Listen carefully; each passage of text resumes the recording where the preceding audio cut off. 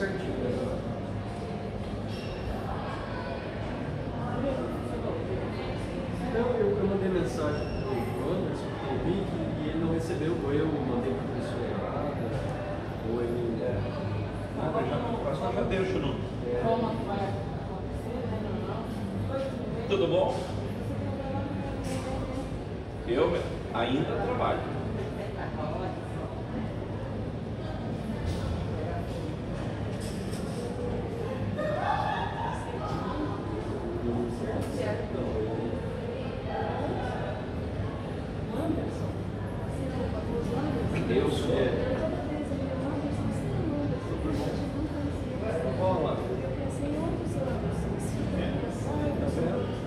sou bem conhecido de alguns e pouco de outros. né? O pessoal que frequenta mais a NR aqui, pelo jeito que você foi em PSS.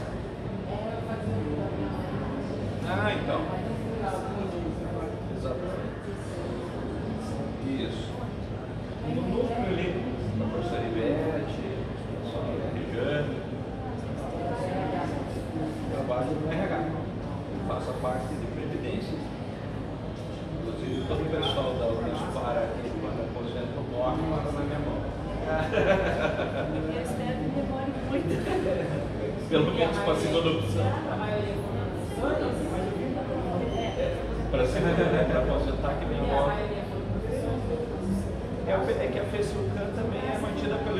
né? A previdência mesmo.